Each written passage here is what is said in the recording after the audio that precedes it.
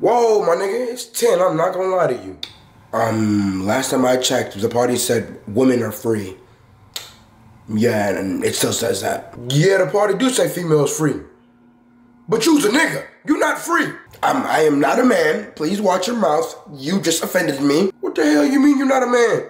Nigga, don't you got a dick? It does not matter if I have a dick. I identify as a woman. A woman. A woman. So because you identify yourself as a woman, I'm supposed to let you in the party for free? Exactly.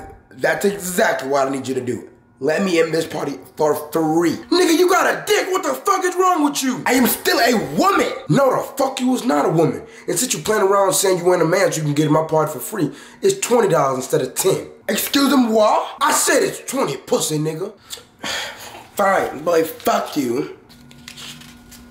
Enjoy your night, bitch nigga.